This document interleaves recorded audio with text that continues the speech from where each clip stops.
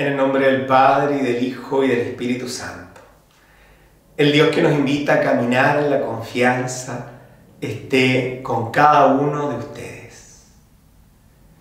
Del Evangelio según San Mateo.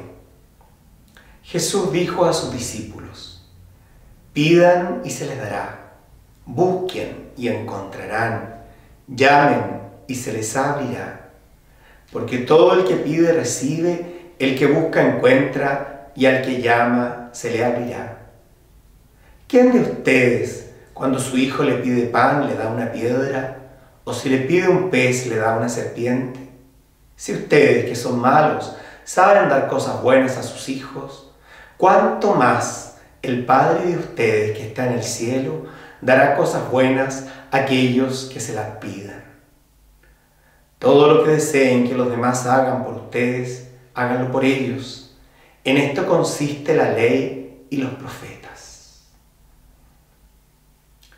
Siguiendo los pasos de los grandes amigos de Jesús, que son los santos, hoy, usando la intercesión de San Francisco de Asís, quisiéramos renovar nuestra confianza en aquel que nos ha enseñado a no declinar nunca en la súplica, a no cansarnos nunca de buscarlo, a no dejar de llamar a su puerta para que un día Él nos diga a cada uno, porque fuiste fiel en lo poco, entra en el descanso de tu Señor.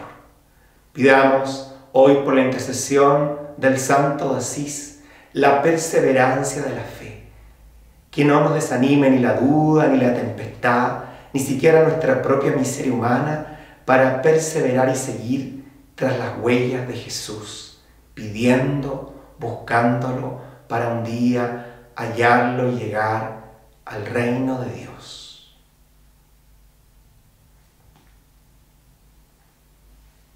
Creo, Jesús mío, que estás real y verdaderamente en el cielo y en el santísimo sacramento del altar. Te amo por sobre todas las cosas y deseo vivamente recibirte dentro de mi alma.